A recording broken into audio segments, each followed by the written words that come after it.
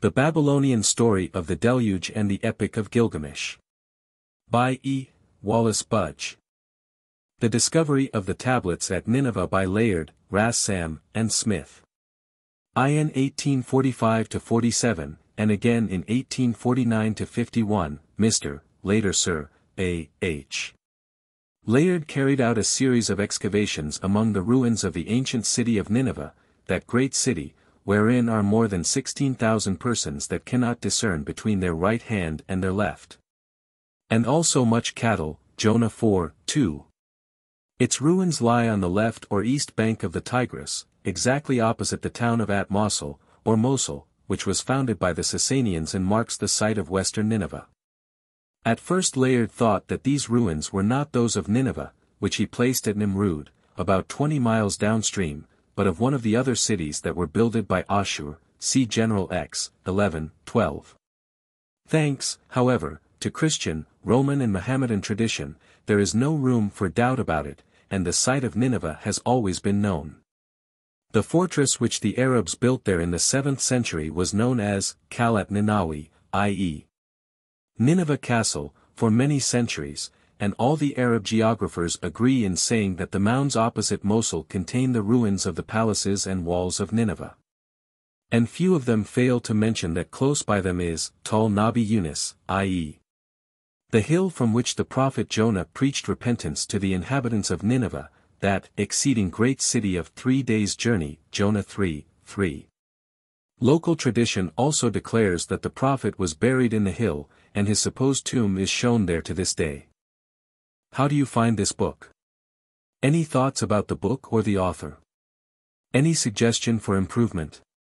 Please take a moment to share your thoughts in a comment. If you like it, share it with your friends who might enjoy it as well. Subscribe to keep in touch. Visit CompleteAudiobooks.com for more quality content.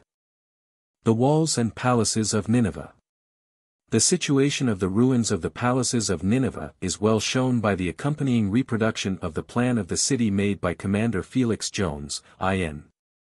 The remains of the older palaces built by Sargon II, BC 722-705, Sennacherib, BC 705-681, and Esarhaddon, BC 681-669, lie under the hill called Nabi Yunus, and those of the palaces and other buildings of Ashurbanipal, BC.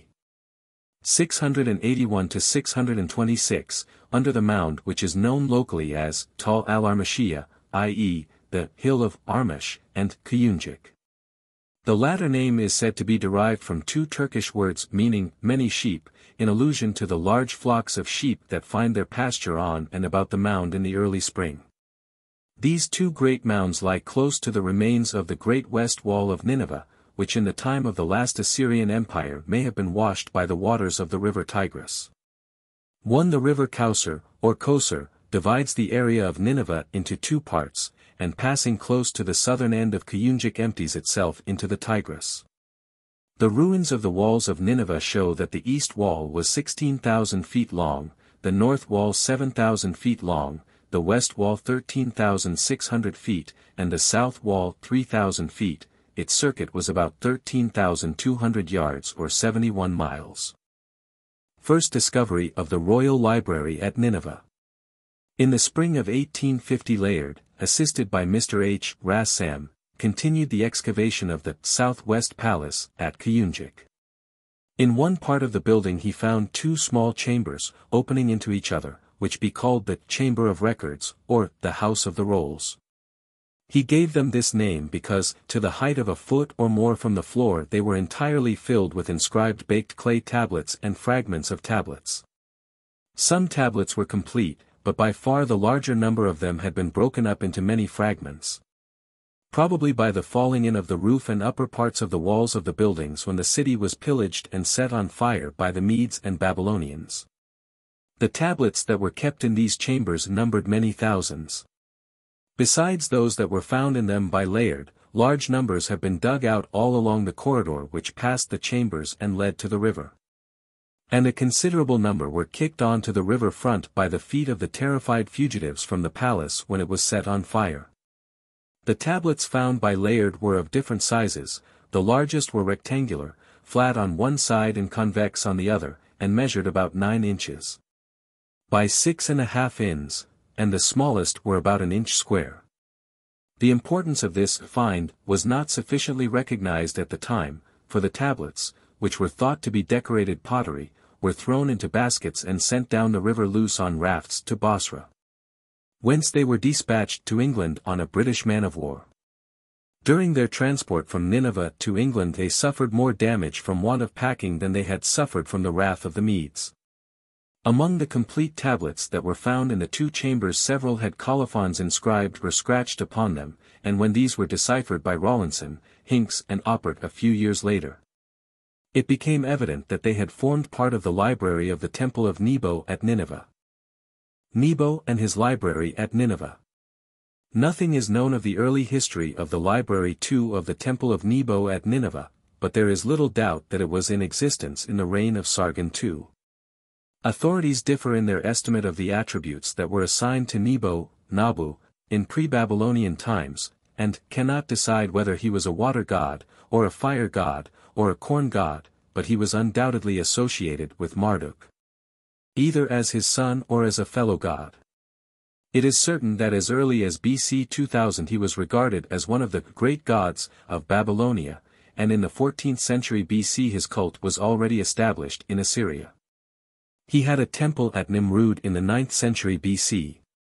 And King Adad-nirari, BC 811 to 783, set up six statues in it to the honor of the god, two of these statues are now in the British Museum. The same Adad-nirari also repaired the Nebo temple at Nineveh. Under the last Assyrian Empire Nebo was believed to possess the wisdom of all the gods, and to be the all-wise, and all-knowing. He was the inventor of all the arts and sciences, and the source of inspiration in wise and learned men, and he was the divine scribe and past master of all the mysteries connected with literature and the art of writing, Dupsharut. Ashurbanipal addresses him as Nebo, the mighty son, the director of the whole of heaven and of earth, holder of the tablet, bearer of the writing reed of the tablet of destiny, lengthener of days, vivifier of the dead. Stablisher of light for the men who are troubled, see tablet, RM. 132. In the reign of Sargon II the temple of Nebo at Kuyunjik III was repaired, and probably at that time a library was housed in it. Layard found some of the remains of Nebo's library in the southwest palace, but it must have been transferred thither, for the temple of Nebo lay farther north, near the south comer of Ashurbanipal's palace. Nebo's temple at Nineveh bore the same name as his very ancient temple at Borsippa, the Modem Birs-i-Nimrud, viz., Ezida. Discovery of the Palace Library of Ashurbanipal. In the spring of 1851 Layard was obliged to close his excavations for want of funds, and he returned to England with Rassam. Leaving all the northern half of the great mound of Kuyunjik unexcavated. He resigned his position as Director of Excavations to the trustees of the British Museum, and Colonel, later Sir, H. C. Rawlinson, Consul General at Baghdad, undertook to direct any further excavations that it might be possible to carry out later on. During the summer the trustees received a further grant from Parliament for excavations in Assyria, and they dispatched Rassam to finish the exploration of Kuyunjik. Knowing that the lease of the mound of Kuyunjik for excavation purposes which he had obtained from its owner had several years to run. When Rassam arrived at Mosul in 1852, and was collecting his men for work, he discovered that Rawlinson, who knew nothing about the lease of the mound which Rassam held, had given the French consul, M. Place, permission to excavate the northern half of the mound, i.e., that part of it which he was most anxious to excavate for the British Museum. He protested, but in vain, and, finding that M. Place intended to hold Rawlinson to his word, devoted himself to clearing out part of the southwest palace which Layard had attacked in 1850. Meanwhile M. Place was busily occupied with the French excavations at Khorsabad, a mound which contained the ruins of the great palace of Sargon II, and had no time to open up excavations at Kuyunjik. In this way a year passed, and as M. Place made no sign that he was going to excavate at Kuyunjik, and Rassam's time for returning to England was drawing near, the owner of the mound, who was anxious to get the excavations finished so that he might again graze his flocks on the mound. Urged Rassam to get to work in spite of Rawlinson's agreement with M. Place. He and Rassam made arrangements to excavate the northern part of the mound clandestinely and by night, and on December 20, 1853, the work began. On the first night nothing of importance was found. On the second night the men uncovered a portion of a large bas-relief, and on the third night a huge mass of earth collapsed revealing a very fine bas-relief, sculptured with a scene representing Ashurbanipal standing in his chariot. The news of the discovery was quickly carried to all parts of the neighborhood, and as it was impossible to keep the digging secret any longer, the work was continued openly and by day. The last mentioned bas-relief was one of the series that lined the chamber, which was 50 feet long and 15 feet wide, and illustrated a royal lion hunt. This series, that is to say, all of it that the fire which destroyed the palace had spared, is now in the British Museum, see the gallery of the Assyrian Saloon. 4. Whilst the workmen were clearing out the chamber of the lion hunt they came across several heaps of inscribed baked clay tablets of all shapes and sizes which resembled in general appearance the tablets that Layard had found in the southwest palace the year before. There were no remains with them, or near them, that suggested they had been arranged systematically and stored in the chamber of the lion hunt, and it seems as if they had been brought there from another place and thrown down hastily. For nearly all of them were broken into small pieces. As some of them bore traces of having been exposed to great heat they must have been in that chamber during the burning of the palace. When the tablets were brought to England and were examined by Rawlinson, it was found from the information supplied by the colophons that they formed a part of the great private library of Ashurbanipal, which that king kept in his palace. The tablets found by Layard in 1850 and by Rassam in 1853 form the unique and magnificent collection of cuneiform tablets in the British Museum, which is now commonly known as the Kuyunjik collection. The approximate number of the inscribed baked clay tablets and fragments that have come from Kuyunjik and are now in the British Museum is 25,073.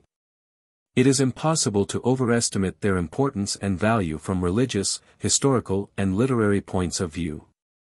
Besides this, they have supplied the material for the decipherment of cuneiform inscriptions in the Assyrian, Babylonian and Sumerian languages and form the foundation of the science of Assyriology which has been built up with such conspicuous success during the last 70 years.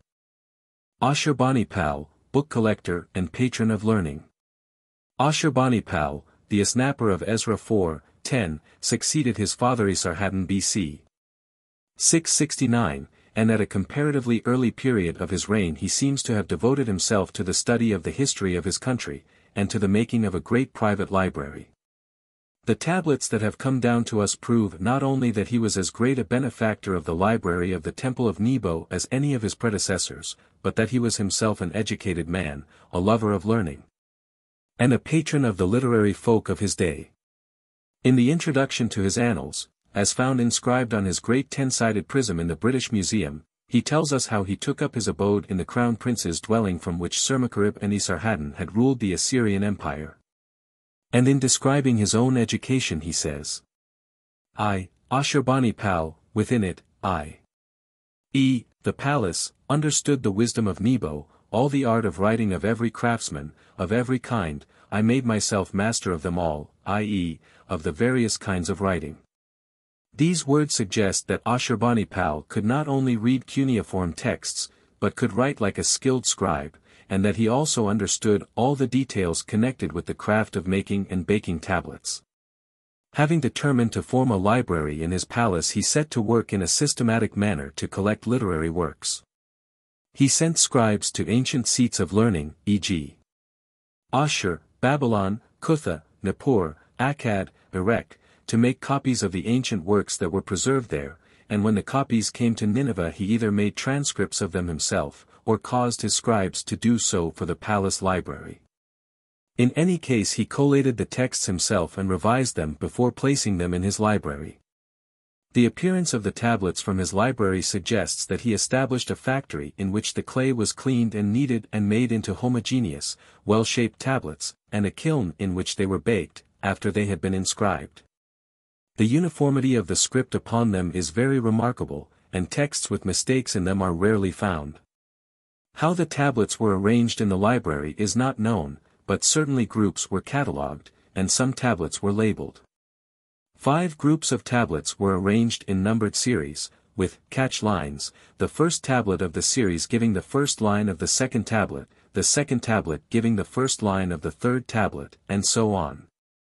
Ashurbanipal was greatly interested in the literature of the Sumerians, i.e., the non-Semitic people who occupied Lower Babylonia about BC 3500 and later. He and his scribes made bilingual lists of signs and words and objects of all classes and kinds, all of which are of priceless value to the modem student of the Sumerian and Assyrian languages. Annexed is an extract from a list of signs with Sumerian and Assyrian values. The signs of which the meanings are given are in the middle column. The Sumerian values are given in the column to the left, and their meanings in Assyrian in the column to the right. To many of his copies of Sumerian hymns, incantations, magical formulas, etc. Ashurbanipal caused interlinear translations to be added in Assyrian, and of such bilingual documents the following extract from a text relating to the seven evil spirits will serve as a specimen the first, third, fifth, etc. Lines are written in Sumerian, and the second, fourth, sixth, etc., lines in Assyrian. Most of the tablets from Kuyunjik end with colophons, which can be divided broadly into two classes. One of these is the short note, frequently impressed by a stamp, which reads simply, Palace of Ashurbanipal, King of all, King of Assyria. The longer forms of colophon were added by the scribes who had written the whole tablet. Of these longer colophons there are several versions, each of which seems to have been appropriated to a particular class of texts. Two of the most interesting are here appended. They reveal a distinction between tablets belonging to the palace library and those preserved in the temple of Nebo. 1. Palace of Ashurbanipal, king of all, king of the country of Assyria. 2 who trusteth in the god Ashur and the goddess Ninlil. 3. On whom the god Nebo, Nabu, and the goddess Tashmetu. 4. Have bestowed all hearing ears. 5. And who has eyes that are clear-sighted. 6. The finest results of the art of writing. 7. Which, among the kings who have gone before. 8. No one ever acquired that craft. 9. The wisdom of Nebo, expressed in rows of writing, of every form. 10. On tablets I wrote, collated and revised. 11. And, for examination and reading. 12. In my palace I placed 6. 13. The prince who knoweth the light of the king of the gods, Ashur. 14. Whosoever shall carry, them, off, or his name side by side with mine. 15 shall write, May Ashur and Ninlil, wrathfully, furiously. 16. Sweep away, and his name and his seed destroy in the land. 2. Colophon of the tablets of the library of Nebo. RM 132. 1. To Nebo, the mighty son, director of the whole of heaven and of earth. 2. Holder of the tablet, bearer of the writing reed of the tablet of destinies. 3. Lengthener of days, vivifier of the dead, stablisher of light for the men who are troubled. 4. The great Lord, his Lord. Ashurbanipal, the prince, the favorite of the gods Ashur, Baal and Nebo. 5. The shepherd, the maintainer of the holy places of the great gods, stablisher of their revenues. 6. Son of Esarhaddon, king of all, king of Assyria. 7 grandson of Sennacherib, king of all, king of Assyria. 8. For the life of his soul, length of his days, and, well-being of his posterity. 9. To make permanent the foundation of his royal throne, to hear his supplications. 10. To receive his petitions, to deliver into his hands the rebellious. 11. The wisdom of Ea, the chanter's art, the secrets of the sages. 12. What is composed for the contentment of the heart of the great gods?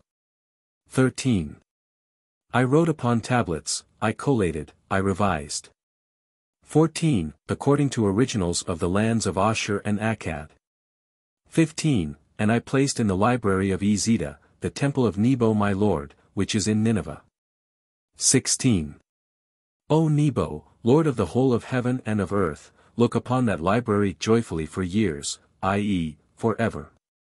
17. On Ashurbanipal, the chief, the worshipper of thy divinity, daily bestow grace. 18. His life decree, so that he may exalt thy great Godhead. The tablets from both libraries when unbroken vary in size from 15 inches by 85 eighths inches to 1 inch by 7 eighths inch, and they are usually about 1 inch thick.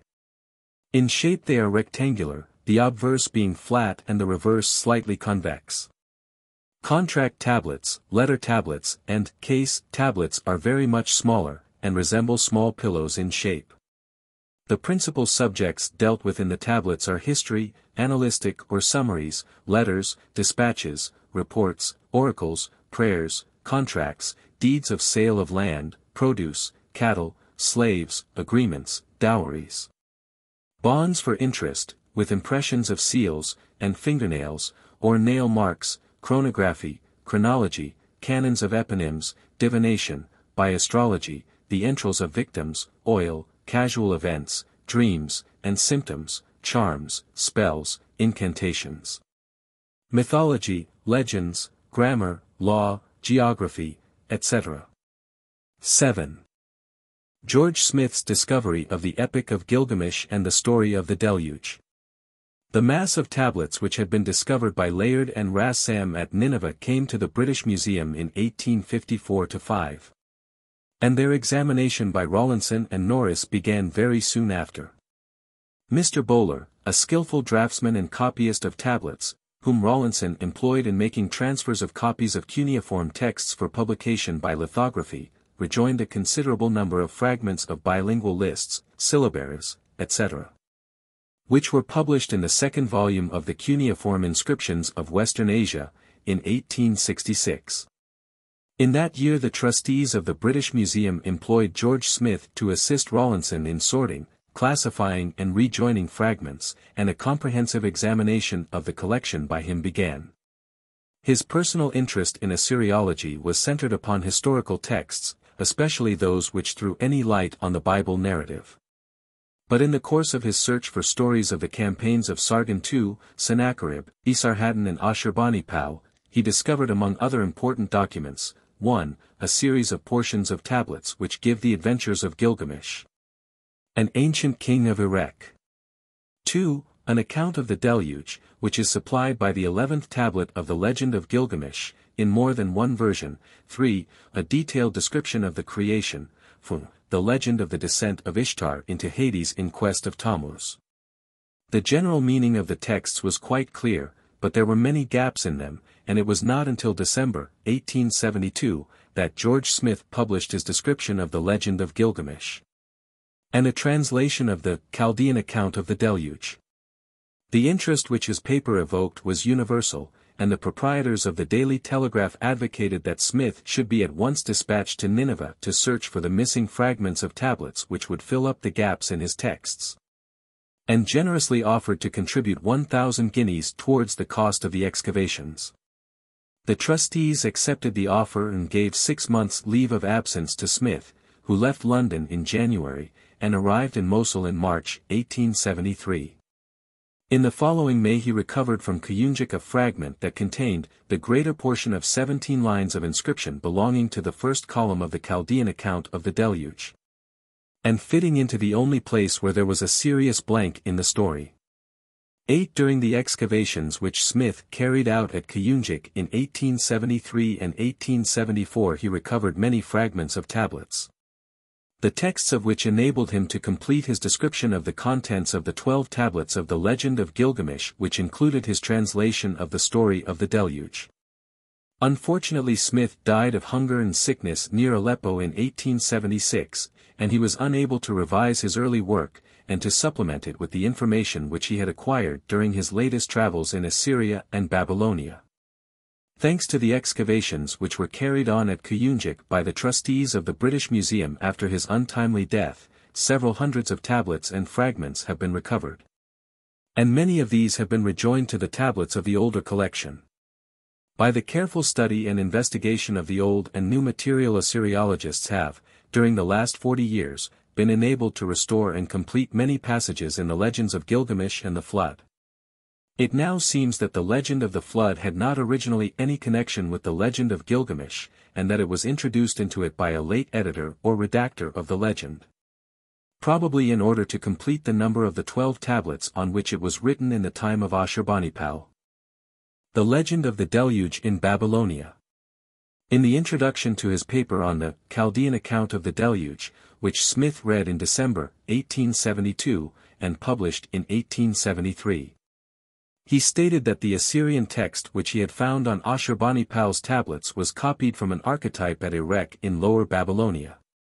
This archetype was, he thought, either written in, or translated into Semitic Babylonian, to at a very early period, and although he could not assign a date to it, he adduced a number of convincing proofs in support of his opinion. The language in which he assumed the legend to have been originally composed was known to him under the name of Akkadian, or Akkadian, but is now called Sumerian. Recent research has shown that his view on this point was correct on the whole. But there is satisfactory proof available to show that versions or recensions of the legend of the Deluge and of the Epic of Gilgamesh existed both in Sumerian and Babylonian, as early as BC 2000. The discovery has been made of a fragment of a tablet with a small portion of the Babylonian version of the legend of the Deluge inscribed upon it, and dated in a year which is the equivalent of the 11th year of Ammisaduqa, i.e., about BC 1800. 9 and in the museum at Philadelphia 10 is preserved half of a tablet which when whole contained a complete copy of a Sumerian version of the legend, and must have been written about the same date. The fragment of the tablet written in the reign of Ammisaduqa is of special importance because the colophon shows that the tablet to which it belonged was the second of a series, and that this series was not that of the Epic of Gilgamesh. And from this we learn that in B. C. 2000 the legend of the deluge did not form the Exith tablet of the Epic of Gilgamesh, as it did in the reign of Ashurbanipal, or earlier.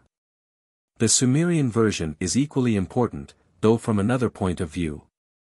For the contents and position of the portion of it that remains on the half of the tablet mentioned above make it certain that already at this early period there were several versions of the legend of the deluge current in the Sumerian language. The fact is that the legend of the deluge was then already so old in Mesopotamia that the scribes added to or abbreviated the text at will, and treated the incidents recorded in it according to local or popular taste, tradition and prejudice.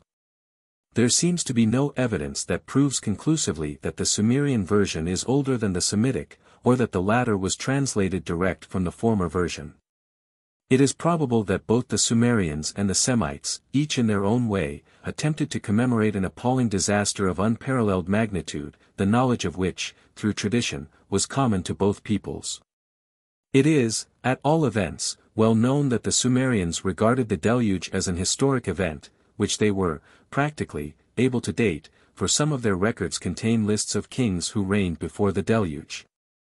Though it must be confessed that the lengths assigned to their reigns are incredible.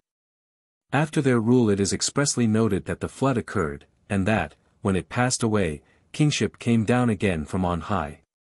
It is not too much to assume that the original event commemorated in the legend of the deluge was a serious and prolonged inundation or flood in Lower Babylonia, which was accompanied by great loss of life and destruction of property. The Babylonian versions state that this inundation or flood was caused by rain, but passages in some of them suggest that the effects of the rainstorm were intensified bv other physical happenings connected with the earth. Of a most destructive character. The Hebrews also, as we may see from the Bible, had alternative views as to the cause of the deluge. According to one, rain fell upon the earth for forty days and forty nights, Gen. 7, 12, and according to the other the deluge came because, all the fountains of the great deep were broken up, and, the floodgates of heaven were opened, Gen 7, 2. The latter view suggests that the rain flood was joined by the waters of the sea. Later tradition, derived partly from Babylonian and partly from Hebrew sources, asserts, e.g. In the Cave of Treasures, a Syriac treatise composed probably at Edessa about the 5th or 6th century AD. That when Noah had entered the ark and the door was shut, the floodgates of the heavens were opened it and the foundations of the earth were rent asunder, and that, the ocean, that great sea which surroundeth the whole world, poured forth its floods. And whilst the floodgates of heaven were open, and the foundations of the earth were rent asunder, the storehouses of the winds burst their bolts, and storms and whirlwinds swept forth, and ocean roared and hurled its floods upon the earth. The ark was steered over the waters by an angel who acted as pilot, and when that had come to rest on the mountains of Cardo, Ararat, God commanded the waters and they became separated from each other. The celestial waters were taken up and ascended to their own place above the heavens whence they came. The waters which had risen up from the earth returned to the lowermost abyss, and those which belonged to the ocean returned to the innermost part thereof. 11 Many authorities seeking to find a foundation of fact for the legend of the deluge in Mesopotamia have assumed that the rain flood was accompanied either by an earthquake or a tidal wave, or by both.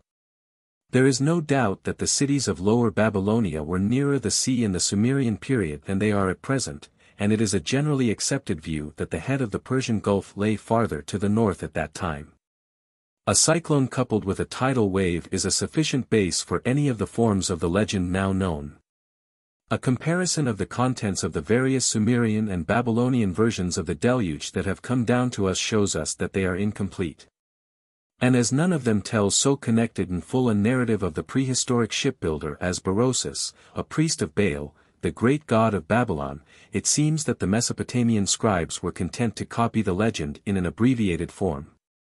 Berosus, it is true, is not a very ancient authority, for he was not born until the reign of Alexander the Great, but he was a learned man and was well acquainted with the Babylonian language and with the ancient literature of his country. And he wrote a history of Babylonia, some fragments of which have been preserved to us in the works of Alexander Polyhistor, Eusebius, and others. The following is a version of the fragment which describes the flood that took place in the days of Xisuthros 12 the tenth king of the Chaldeans, and is of importance for comparison with the rendering of the legend of the deluge. As found on the Ninevite tablets, which follows immediately after. The legend of the deluge according to Berosus. After the death of Ardates, his son Xisuthros reigned 18 Sari. In his time happened a great deluge, the history of which is thus described. The deity, Cronus, appeared to him in a vision, and warned him that upon the fifteenth day of the month Daesius there would be a flood, by which mankind would be destroyed. He therefore enjoined him to write a history of the beginning, procedure and conclusion of all things, and to bury it in the city of the sun at Sippara, and to build a vessel, and take with him into it his friends and relations. And to convey on board everything necessary to sustain life, together with all the different animals, both birds and quadrupeds, and trust himself fearlessly to the deep. Having asked the deity, whither he was to sail, he was answered, to the gods, upon which he offered up a prayer for the good of mankind. He then obeyed the divine admonition, and built a vessel five stadia in length, and two in breadth. Into this he put everything which he had prepared. And last of all conveyed into it his wife, his children, and his friends. After the flood had been upon the earth, and was in time abated, Xisuthros sent out birds from the vessel. Which, not finding any food nor any place whereupon they might rest their feet, returned to him again. After an interval of some days, he sent them forth a second time, and they now returned with their feet tinged with mud. He made a trial a third time with these birds, but they returned to him no more, from whence he judged that the surface of the earth had appeared above the waters. He therefore made an opening in the vessel, and upon looking out found that it was stranded upon the side of some mountain, upon which he immediately quitted it with his wife, his daughter, and the pilot. Xisuthros then paid his adoration to the earth, and, having constructed an altar, offered sacrifices to the gods, and, with those who had come out of the vessel with him, disappeared. They, who remained within, finding that their companions did not return, quitted the vessel with many lamentations, and called continually on the name of Xisuthros. Him they saw no more.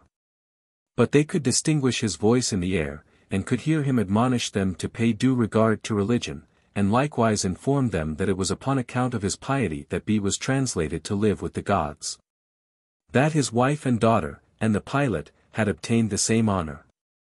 To this he added that they should return to Babylonia. And, it was ordained, search for the writings at Sippara, which they were to make known to mankind, moreover that the place, wherein they then were, was the land of Armenia. The rest having beard these words, offered sacrifices to the gods. And taking a circuit journeyed towards Babylonia. Cory, Ancient Fragments, London, 1832, page 26 ff. The Babylonian legend of the deluge is told to the hero Gilgamesh by his ancestor Utanapishtim, who had been made immortal by the gods. The form of the legend of the deluge given below is that which is found on the eleventh of the series of twelve tablets in the royal library at Nineveh, which described the life and exploits of Gilgamesh. An early king of the city of Erech.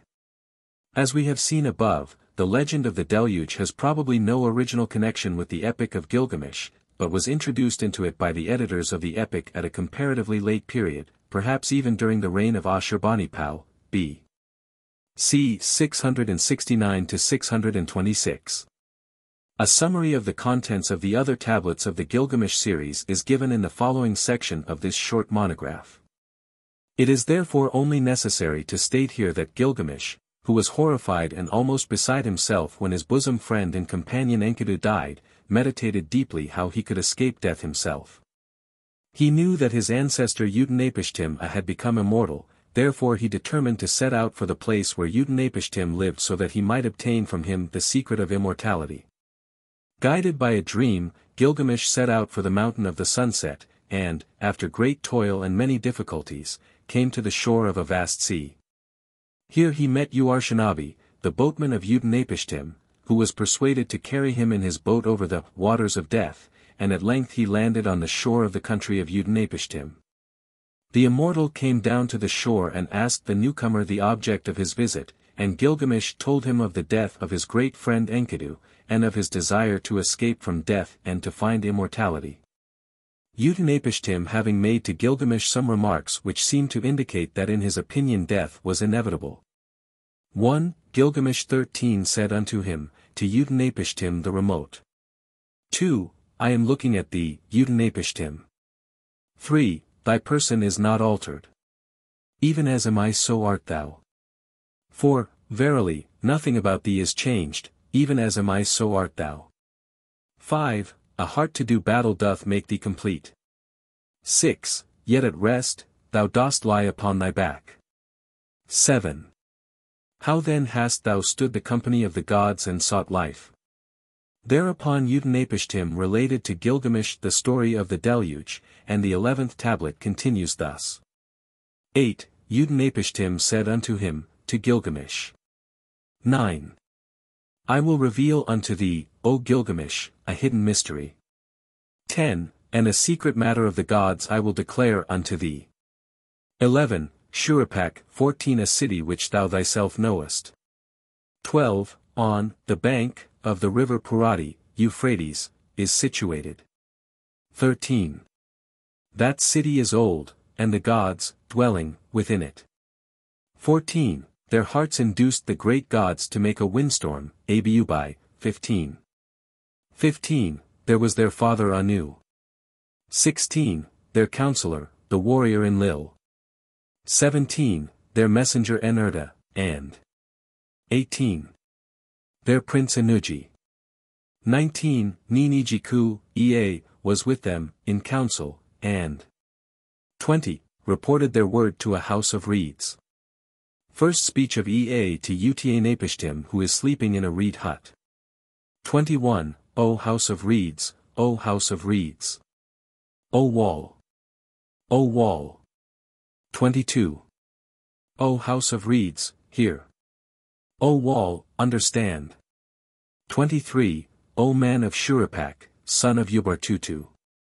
24. Throw down the house, build a ship. 25 forsake wealth, seek after life. 26. Hate possessions, save thy life. 27. Bring all seed of life into the ship. 28. The ship which thou shalt build. 29. The dimensions thereof shall be measured. 30. The breadth and the length thereof shall be the same. 31. Then launch it upon the ocean.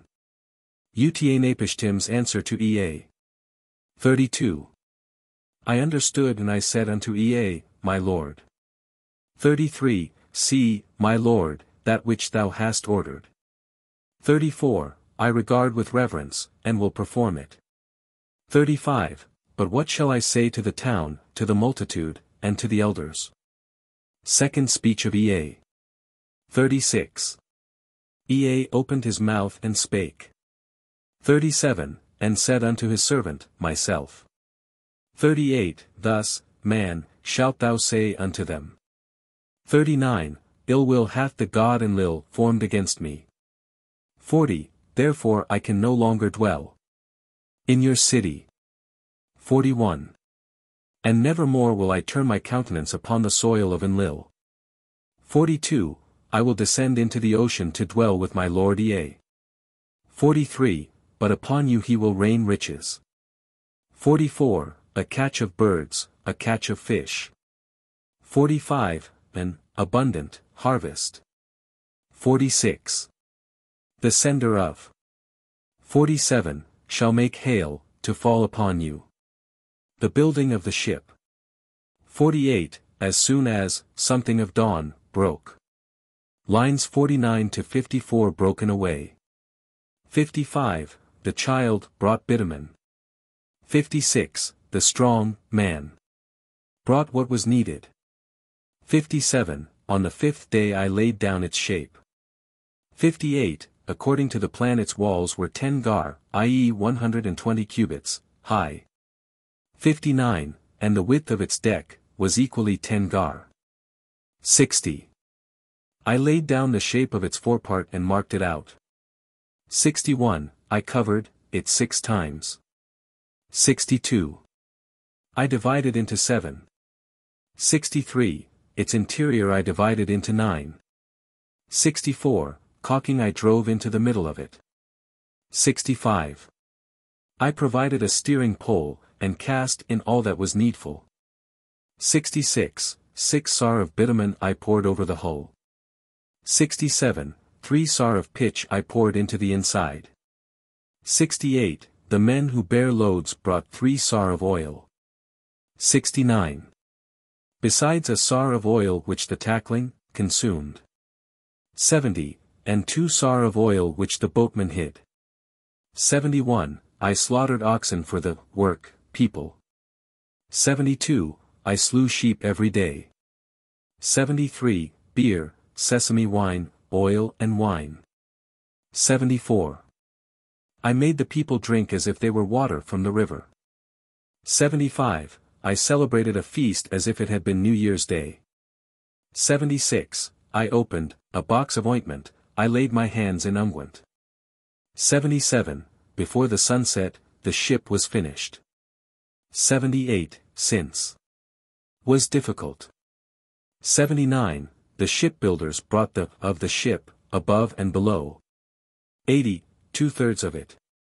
The loading of the ship. 81. With everything that I possessed I loaded it, i.e., the ship. 82. With everything that I possessed of silver I loaded it. 83. With everything that I possessed of gold I loaded it. 84. With all that I possessed of all the seed of life I loaded it. 85. I made to go up into the ship all my family and kinsfolk. 86. The cattle of the field, the beasts of the field, all handicraftsmen I made them go up into it. 87. The god Shamash had appointed me a time, saying. 88. The sender of, will at eventide make a hail to fall. 89. Then enter into the ship and shut thy door. 90. The appointed time drew nigh. 91. The sender of, made a hail to fall at eventide. 92. I watched the aspect of the, approaching, storm. 93, terror possessed me to look upon it. 94. I went into the ship and shut my door. 95, to the pilot of the ship, Puzaranlil the sailor. 96. I committed the great house, i.e., ship, together with the contents thereof. The Abubu, cyclone, and its effects described. 97. As soon as something of dawn shone in the sky. 98. A black cloud from the foundation of heaven came up. 99. Inside it the god Adad thundered. 100. The gods Nabu and Sheru, i.e., Marduk, went before. 101. Marching as messengers over high land and plain. 102, Iragal, Nergal, tore out the post of the ship. 103, Enurta went on, he made the storm to descend. 104, the Anunnaki 16 brandished their torches. 105, with their glare they lighted up the land. 106, the whirlwind, or, cyclone, of Adad swept up to heaven. 107, every gleam of light was turned into darkness. 108, the land as if had laid it waste. 109, a whole day long, the flood descended. 110. Swiftly it mounted up. The water, reached to the mountains. 111, the water, attacked the people like a battle. 112, brother saw not brother. 113, men could not be known, or, recognized, in heaven. 114. The gods were terrified at the cyclone. 115, they shrank back and went up into the heaven of Anu. 116, the gods crouched like a dog and cowered by the wall. 117, the goddess Ishtar cried out like a woman in travail. 118. The lady of the gods lamented with a sweet voice, saying, Ishtar's Lament. 119, May that former day be turned into mud. 120, Because I commanded evil among the company of the gods. 121. How could I command evil among the company of the gods? 122, Command battle for the destruction of my people. 123, Did I of myself bring forth my people? 124, That they might fill the sea like little fishes? Utanapishtim's story continued. 125. The gods, the Anunnaki wailed with her. 126, the gods bowed themselves, and sat down weeping. 127, their lips were shut tight, in distress. 128, for six days and nights. 129, the wind, the storm raged, and the cyclone overwhelmed the land. The abating of the storm. 130, when the seventh day came the cyclone ceased, the storm and battle. 131, which had fought like an army. 132, the sea became quiet, the grievous wind went down, the cyclone ceased. 133. I looked on the day and voices were stilled. 134, and all mankind were turned into mud. 135, the land had been laid flat like a terrace. 136, I opened the air hole and the light fell upon my cheek. 137, I bowed myself, I sat down, I cried. 138. My tears poured down over my cheeks. 139, I looked over the quarters of the world, to, the limits of ocean. 140, at twelve points islands appeared. 141, the ship grounded on the mountain of Nizur. 142. The mountain of Nizur held the ship, it let it not move. 143, the first day, the second day, the mountain of Nizur held the ship and let it not move. 144, the third day, the fourth day, the mountain of Nizur held the ship and let it not move. 145. The fifth day, the sixth day, the mountain of Nizur held the ship and let it not move. 146, when the seventh day had come. 147, I brought out a dove and let her go free. 148, the dove flew away and, then, came back. 149. Because she had no place to alight on she came back. 150, I brought out a swallow and let her go free. 151, the swallow flew away and, then, came back. 152, because she had no place to alight on she came back. 153. One brought out a raven and let her go free. 154, the raven flew away, she saw the sinking waters. 155, she ate, she waited, she rose, she came not back.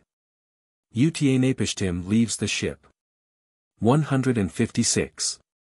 Then I brought out, everything, to the four winds and made a sacrifice. 157, I set out an offering on the peak of the mountain. 158, 7 by 7 I set out the vessels. 159, under them I piled reeds, cedarwood and myrtle. 160. The gods smelt the savor. 161, the gods smelt the sweet savor. 162, the gods gathered together like flies over him that sacrificed. Speech of Ishtar, Lady of the Gods. 163 Now when the Lady of the Gods came nigh. 164. She lifted up the priceless jewels which Anu had made according to her desire, saying. 165, O ye gods here present, as I shall never forget the sapphire jewels of my neck. 166, So shall I ever think about these days, and shall forget them nevermore. 167, Let the gods come to the offering. 168, But let not Enlil come to the offering. 16 Quetzales because he took not thought and made the cyclone. 170, And delivered my people over to destruction. The anger of Enlil. 171, Now when Enlil came nigh. 172. He saw the ship, then was Enlil wroth. 173, And he was filled with anger against the gods, the Igigi, saying, 17. 174, Hath any being escaped with his life? 175, He shall not remain alive, a man among the destruction. Speech of Enurta. 176. Then Enurta opened his mouth and spake. 177, and said unto the warrior in Enlil. 178, who besides the god Ea can make a plan. 179, the god Ea knoweth everything that is done. 18-0 The god Ea opened his mouth and spake. 181. And said unto the warrior in Enlil. 182, O prince among the gods, thou warrior. 183, How, how couldst thou, not taking thought, make a cyclone? 184, He who is sinful, on him lay his sin. 185, He who transgresseth, on him lay his transgression. 186. But be merciful that, everything, be not destroyed be long-suffering that, man be not blotted out. 187, Instead of thy making a cyclone. 188, Would that the lion had come and diminished mankind. 189, Instead of thy making a cyclone. 190. Would that the wolf had come and diminished mankind. 191, Instead of thy making a cyclone.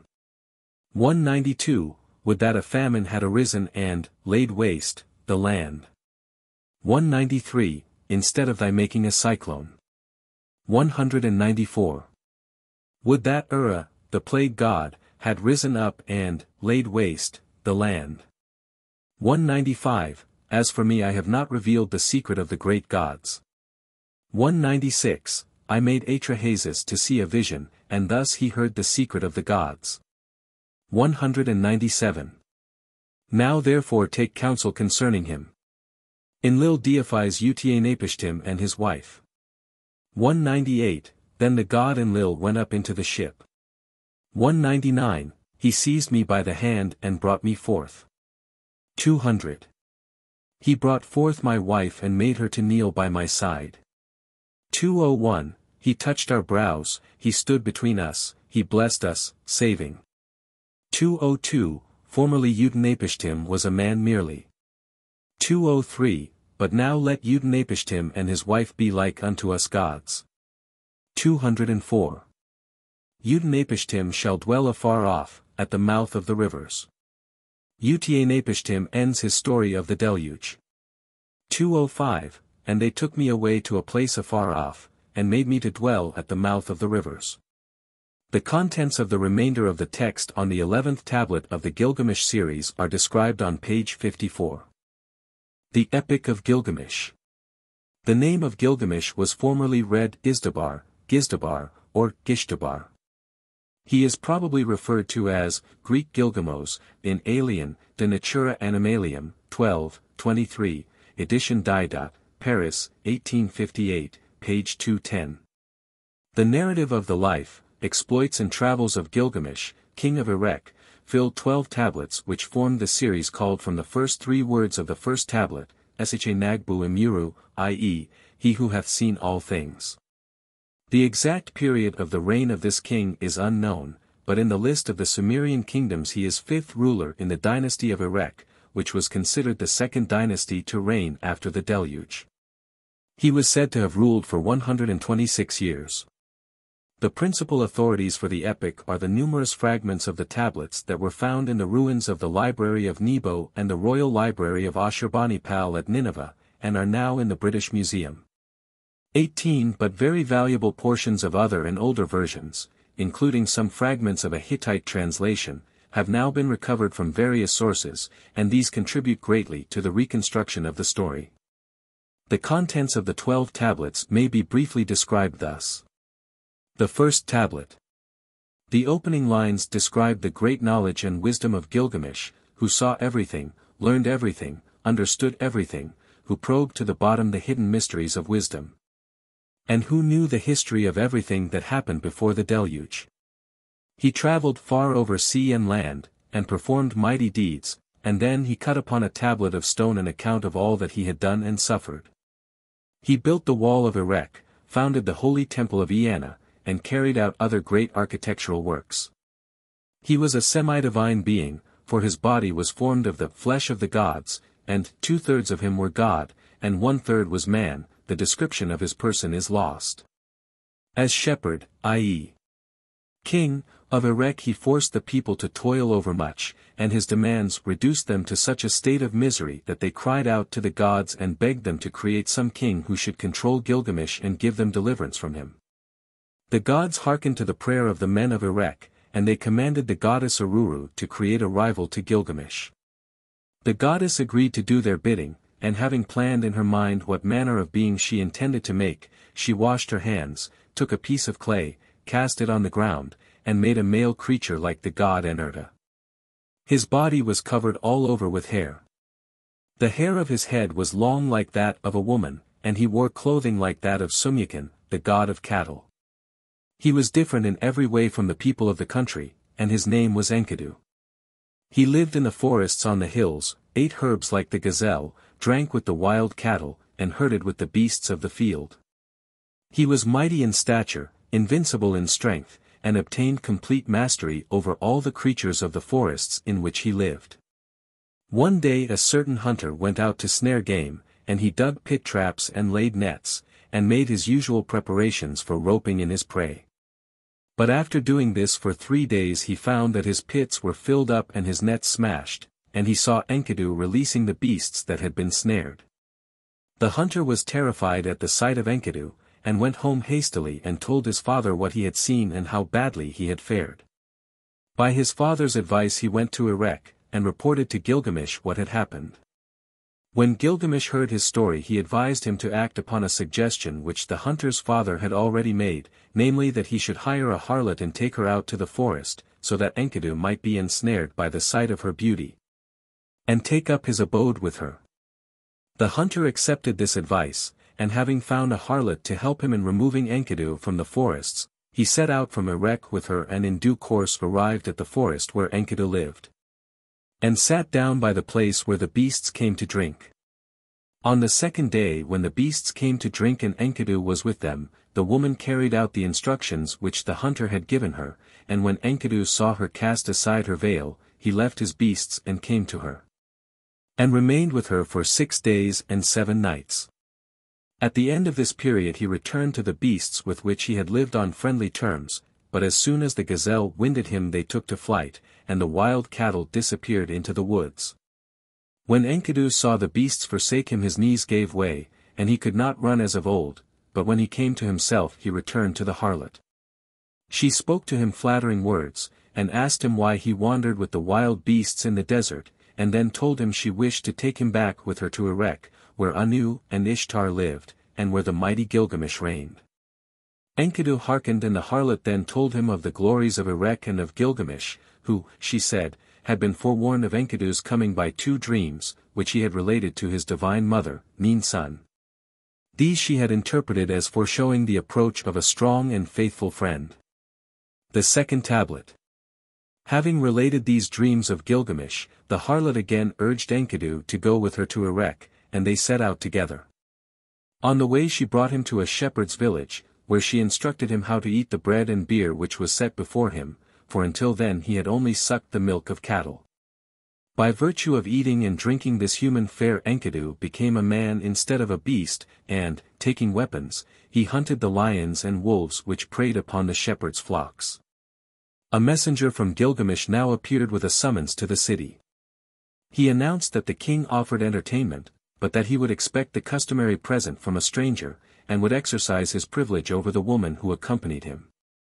The entrance of Enkidu into the city caused a general excitement, all being amazed at his surpassing strength and his conversion from savagery. The first meeting of Gilgamesh and Enkidu took place when the king came in the night to claim his right to the strange woman. Enkidu violently resisted him, and the two heroes in the doorway grappled and snorted, like bulls. They shattered the threshold, the wall quivered, in their strife. Gilgamesh was finally worsted, but the result of this combat was that the two became fast friends and allies. The Third Tablet Owing to mutilation of the text this section begins obscurely, but it seems that the harlot had deserted Enkidu, for he laments his association with her. Gilgamesh then opened to him his design to go on an expedition to the cedar forest and fight with a fearful ogre named Kumbaba, who had been appointed by the gods as warden of the forest. Enkidu sought to dissuade his friend from this rash project, saying that he himself, when he lived with the beasts, used to penetrate into the skirts of the forest, where he had learned to dread the roaring breath and flames emitted by Kumbaba. To this Gilgamesh seems to have replied that he must go to the cedar forest to fetch the wood he needed, and when Enkidu still objected, he concluded with the reflection that death was inevitable to mortals. And that he would therefore meet it in a glorious enterprise which should win fame for him among his children forever.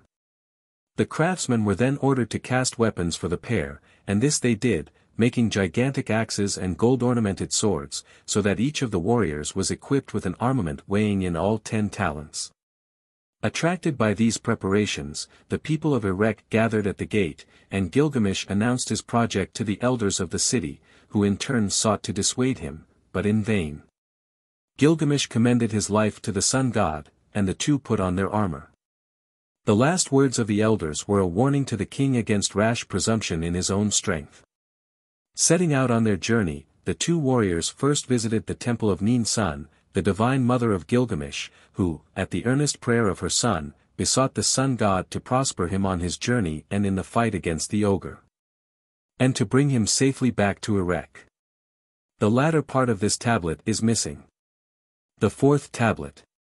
So much of this tablet is missing that only a very general notion can be obtained of its contents. The two heroes had by now reached the gate of the forest wherein Kumbaba dwelt. Enkidu was amazed at the gigantic size and beauty of this gate, fashioned out of the timbers of the forest. When the text begins again, the two are found encouraging each other to their enterprise, and Gilgamesh burst through the gate. Soon afterwards Enkidu was overcome either by sickness or by dread of the combat, and lay inert for twelve days, apparently as the result of evil dreams which had visited him. In his weakness he strove again to turn back from their desperate adventure, but again Gilgamesh overcame his fear with encouragements. The Fifth Tablet The two warriors were now in the forest, and this tablet begins with a description of its wonders. They saw a straight road running between its tall cedars, along which Kumbaba trod. They saw also the mountain of the cedars, the dwelling of the gods, and the pleasant shade and perfume which the trees spread around.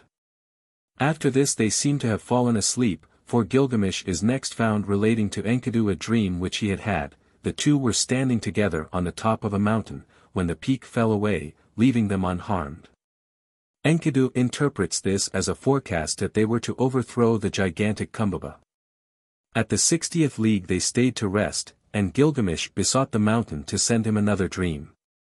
Falling asleep at once, he woke in terror at midnight and began to tell how he dreamed that the earth was darkened, amid loud roarings and flames of fire, which gradually died away.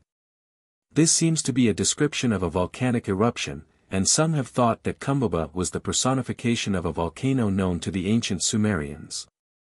This dream too was interpreted by Enkidu, no doubt favorably, but nothing more remains of this tablet before the end, when Kumbaba has been fought and defeated, and his head cut off. A fragment of another version shews that he was defeated by the help of the sun god, who sent eight evil winds against him on every side so that he could not move. Thus entrapped, he surrendered to Gilgamesh and offered submission in return for his life. This Gilgamesh was disposed to grant, but Enkidu warned him of the danger of letting the giant live. The Sixth Tablet The scene now returns to Erech, whither the heroes returned after their glorious exploit. As Gilgamesh was washing himself and dressing himself in splendid attire the goddess Ishtar saw his comeliness and desired him to be her lover, saying, Go to, Gilgamesh, do thou be, my, bridegroom. Give me freely the fruit, of thy body. Be thou my husband, I will be thy wife. So, will I make them yoke for thee a chariot of lapis lazuli and gold. Its wheels of gold, and its horns of electrum. Every day shalt thou harness great mules thereto. Enter, then, our house with the perfume of cedar. When thou enterest our house, Threshold and dais shall kiss thy feet. Beneath thee shall kings, lords and princes do homage. Bringing thee as tribute the yield of the mountains and plains. Thy she-goats shall bring forth abundantly. Thy ewes bear twins. Thine asses shall be, each, as great as a mule. Thy horses in the chariot shall be famous for their swiftness. Thy mules in the yoke shall not have a peer. In answer to this invitation, Gilgamesh made a long speech, in which he reviewed the calamities of those who had been unfortunate enough to attract the love of the goddess. To be her husband would be a burdensome privilege, and her love was deceptive, a ruin that gave no shelter, a door that let in the storm, a crazy building, a pitfall, defiling pitch, a leaky vessel, a crumbling stone, a worthless charm. An ill-fitting shoe. Who was ever thy lord that had advantage thereby? Come, I will unfold the tale of thy lovers. He refers to Tammuz, the lover of her youth, for whom year by year she causes wailing. Every creature that fell under her sway suffered mutilation or death, the bird's wings were broken, the lion destroyed, the horse driven to death with whip and spur. Her human lovers fared no better, for a shepherd, once her favorite, was turned by her into a jackal and torn by his own dogs, and Ishalanu, her father's gardener, was turned into a spider, because he refused her advances. So, too, said Gilgamesh, wouldst thou love me, and, then, make me like unto them. When Ishtar heard these words she was filled with rage, and went up to heaven, and complained to Anu her father and unto her mother that Gilgamesh had blasphemed her, and revealed all her iniquitous deeds. Anu replied, in effect, that it was her own fault, but she insisted in the request that he should create a heavenly bull to destroy Gilgamesh. This he finally agreed to do, and the bull appeared before the citizens of Erech, and destroyed one, two, and three hundred men who were sent out against him. At length Enkidu and Gilgamesh attacked the bull themselves, and after a hard fight, the details of which are lost, they slew him, and offered his heart together with a libation to the sun god. As soon as Ishtar heard of the bull's death she rushed out on the battlements of the wall of Erech and cursed Gilgamesh for destroying her bull. When Enkidu heard what Ishtar said, he tore out the member of the bull and threw it before the goddess, saying, Could I but get it at thee, I would serve thee like him, I would hang his entrails about thee. Then Ishtar gathered together all her temple women and harlots, and with them made lamentation over the member of the bull. And Gilgamesh called together the artisans of Erech, who came and marveled at the size of the bull's horns, for each of them was in bulk equal to thirty minas of lapis lazuli, their thickness two finger breadths. And together they contained six core measures of oil. These Gilgamesh dedicated in the temple of his god Lugalbanda, to hold the god's unguent, and, having made his offering, he and Enkidu washed their hands in the Euphrates, took their way back to the city, and rode through the streets of Erech. The people thronging round to admire them. Gilgamesh put forth a question to the people, saying, Who is splendid among men? Who is glorious among heroes? And the answer was, Gilgamesh, is splendid among men. Enkidu, is glorious among heroes.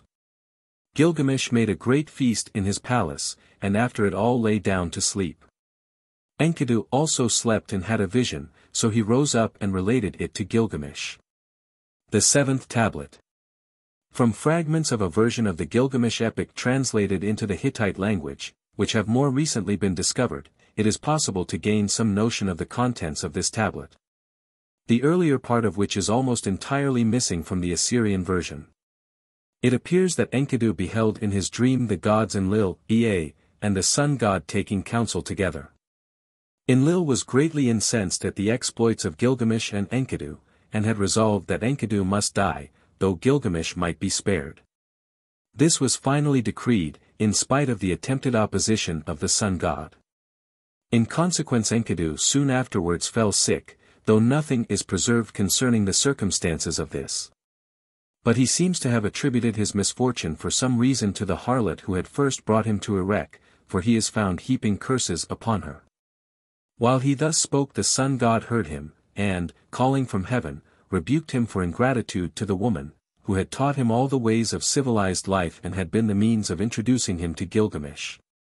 By whom he had been raised to great place and would be given signal honors at his death.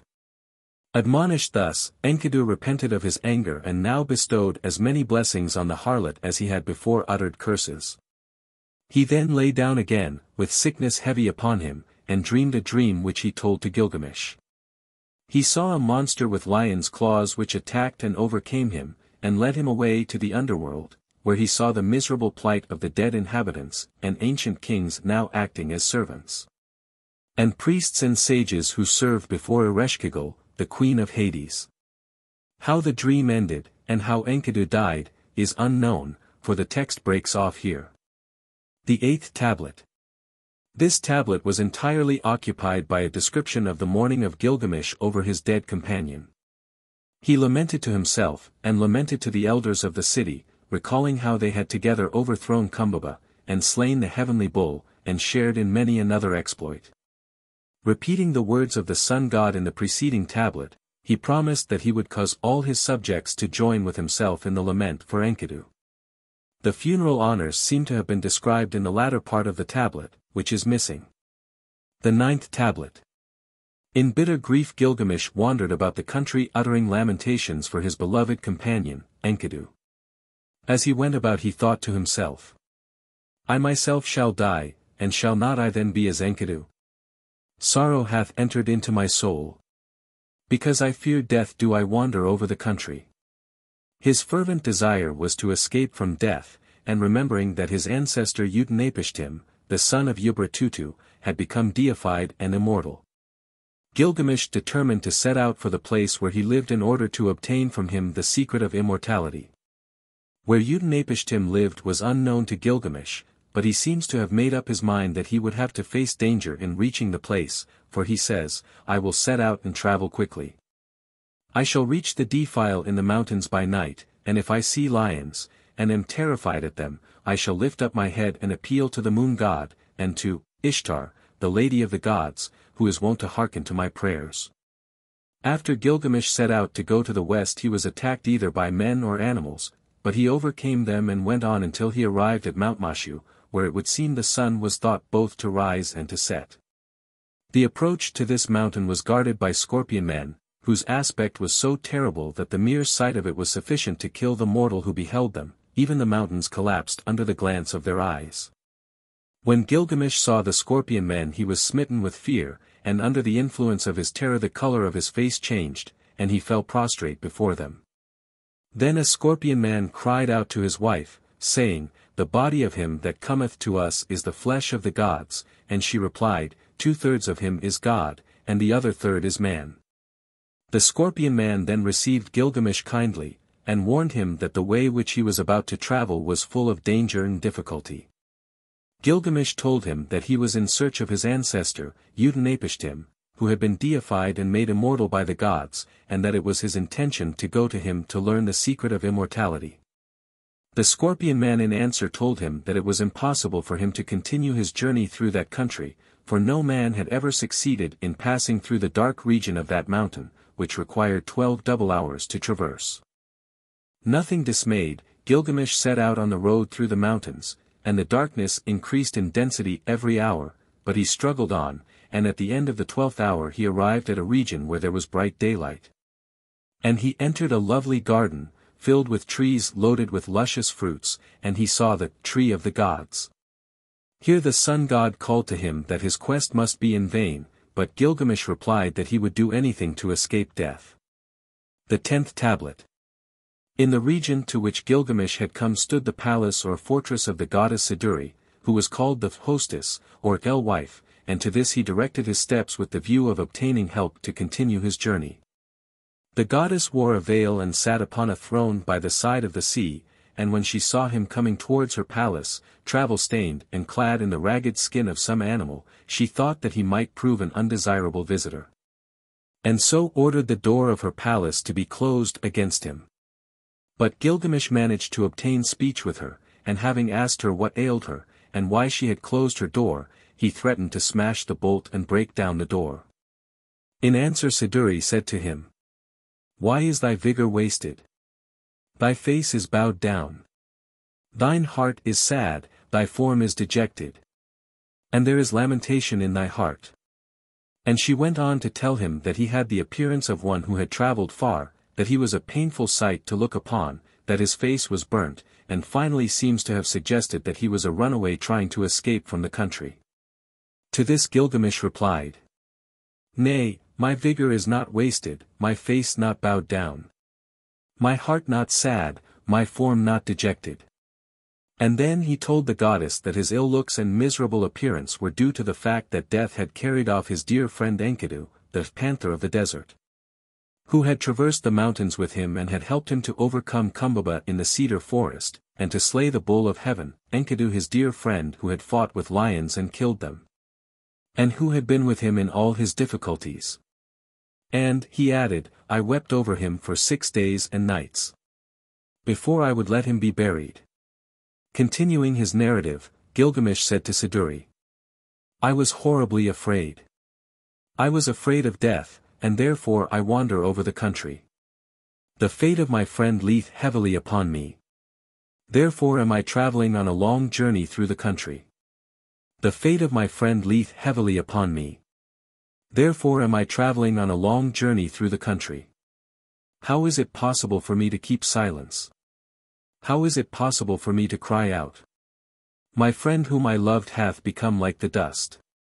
Enkidu, my friend whom I loved hath become like the dust. Shall not I myself also be obliged to lay me down? And never again rise up to all eternity? To this complaint the alewife replied that the quest of eternal life was vain, since death was decreed to mankind by the gods at the time of creation. She advised him, therefore, to enjoy all mortal pleasures while life lasted and to abandon his hopeless journey.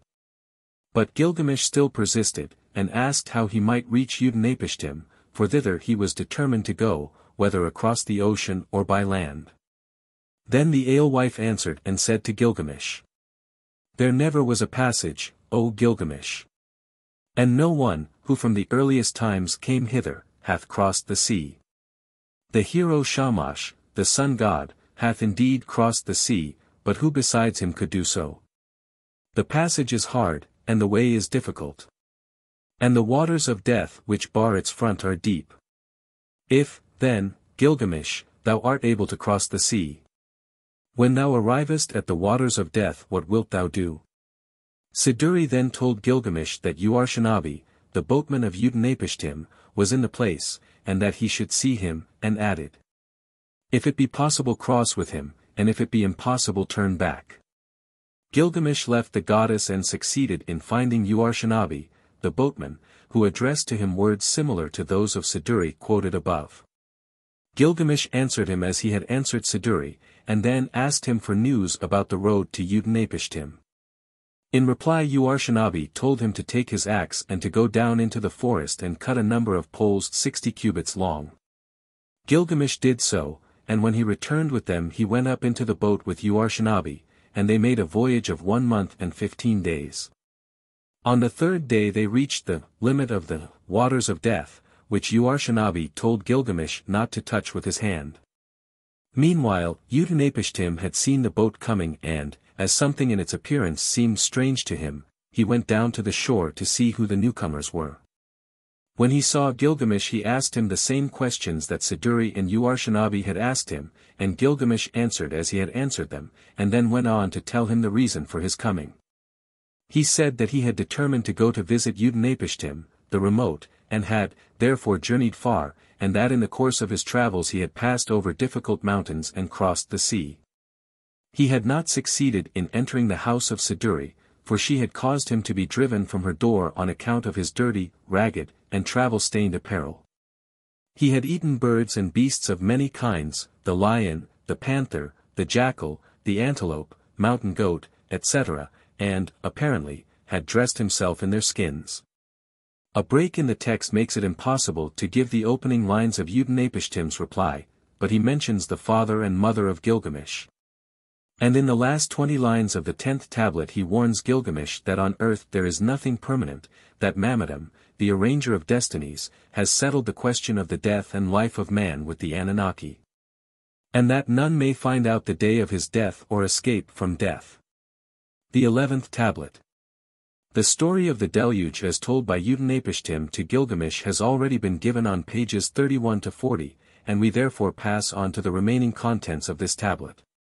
When Utanapishtim had finished the story of the deluge, he said to Gilgamesh, Now, as touching thyself, who will gather the gods together for thee, so that thou mayest find the life which thou seekest?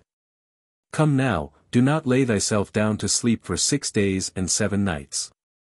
But in spite of this admonition, as soon as Gilgamesh had sat down, drowsiness overpowered him and he fell fast asleep. Utanapishtim, seeing that even the mighty hero Gilgamesh could not resist falling asleep, with some amusement drew the attention of his wife to the fact, but she felt sorry for the tired man. And suggested that he should take steps to help him to return to his home. In reply Utanapishtim told her to bake bread for him, and she did so, but she noted by a mark on the house wall each day that he slept. On the seventh day, when she took the loaf Utanapishtim touched Gilgamesh, and the hero woke up with a start, and admitted that he had been overcome with sleep, and made incapable of movement thereby. Still vexed with the thought of death and filled with anxiety to escape from it, Gilgamesh asked his host what he should do and where he should go to effect his object. By Utanapishtim's advice, he made an agreement with Uarshanabi the boatman, and prepared to recross the sea on his way home. But before he set out on his way Utanapishtim told him of the existence of a plant which grew at the bottom of the sea, and apparently led Gilgamesh to believe that the possession of it would confer upon him immortality. Thereupon Gilgamesh tied heavy stones, to his feet, and let himself down into the sea through an opening in the floor of the boat. When he reached the bottom of the sea, he saw the plant and plucked it, and ascended into the boat with it. Showing it to Uarshanabi, he told him that it was a most marvelous plant, and that it would enable a man to obtain his heart's desire. Its name was Shibu Isahir Amalu, i.e. The old man becometh young, again, and Gilgamesh declared that he would eat of it in order to recover his lost youth, and that he would take it home to his fortified city of Erech. Misfortune, however, dogged his steps, and the plant never reached Erech, for whilst Gilgamesh and Uarshanabi were on their way back to Erech they passed a pool the water of which was very cold, and Gilgamesh dived into it and took a bath. Whilst there a serpent discovered the whereabouts of the plant through its smell and swallowed it. When Gilgamesh saw what had happened he cursed aloud, and sat down and wept, and the tears coursed down his cheeks as he lamented over the waste of his toil, and the vain expenditure of his heart's blood, and his failure to do any good for himself. Disheartened and weary he struggled on his way with his friend, and at length they arrived at the fortified city of Erech. 19. Then Gilgamesh told Urshanabi to jump up on the wall and examine the bricks from the foundations to the battlements, and see if the plans which he had made concerning them had been carried out during his absence. The Twelfth Tablet The text of the Twelfth Tablet is very defective, but it seems certain that Gilgamesh, having failed in his quest for eternal life, could now think of nothing better than to know the worst by calling up the ghost of Enkidu and inquiring of him as to the condition of the dead in the underworld. He therefore asked the priests what precautions should be taken in order to prevent a ghost from haunting one, and, being informed of these, he purposely did everything against which he had been warned, so that the ghosts might come about him. This, however, failed to bring Enkidu, so Gilgamesh prayed to the god Enlil that he should raise him up, but Enlil made no reply. Next Gilgamesh prayed to the moon god, but again his prayer was ignored. He then appealed to the god Ea, who, taking pity on him, ordered the warrior god Nergal to open a hole in the earth. Out of this the ghost of Enkidu rose, like a wind, and the two friends embraced again. Gilgamesh at once began eagerly to question the ghost about the condition of the dead, but Enkidu was loath to answer, for he knew that what he must reveal would only cause his friend dejection. But the last lines of the tablet tell the lot of those who have died in various circumstances. Though some who have been duly buried are in better case, the fate of others who have none to pay them honor is miserable, for they are reduced to feeding upon dregs and scraps of food thrown into the street. Note. The trustees of the British Museum have published large selections of cuneiform texts from the cylinders, tablets, etc that were found in the ruins of Nineveh by Layard, Rassam, Smith and others, in the following works. Cuneiform Inscriptions of Western Asia. Volume 1. 1861, Fall, IL. Out of print. Volume 2. 1866, Fall, IL. Out of print. Volume 111. 1870, Fall, IL. Volume 4. Second edition. 1891, Fall, IL. Out of print. Volume 5, Plates 1 to 35. 1880, Fall, Tens. 6D, out of print. Volume 5, Plates 36 to 70. 1884, Fall, Tens. 6D, out of print. Volume 5, Plates 1 to 70. Lithographed reprint 1909. Fall, IL. Sevens. Inscriptions from Assyrian monuments. 1851, Fall, IL. Ones. Cuneiform texts from Babylonian tablets, and c. in the British Museum. Parts IV, 7 to 23, XXV, 27 to 34. 50 plates each. 1896 to 1914, sevens. 6D each. Part 6. 49 plates. 1898, sevens. 6D. Part 24. 50 plates. 1908, fall, tens. Part 26. 54 plates.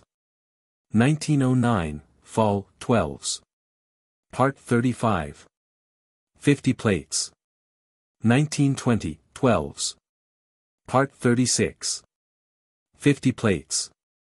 1921, 18s. Parts 37, XXXX. 50 plates each. 1924, 1926. 15s, each. Parts 38, XL. 50 plates each. 19 to 25, 1928. Sixteenths, each. Annals of the Kings of Assyria. Cuneiform texts with transliterations and translations. Volume 1, 1903. 42 IL. Catalogue of the cuneiform tablets in the Kuyunjik collection. Volume 1, 8 VO, 1889. 15ths. Volume 2, 1891, 15th. Volume 3, 1894. 13th. Volume 4. 1896, IL. Volume 5, 1899. IL, Fries. Supplement 8 VO, 1914. IL, The End.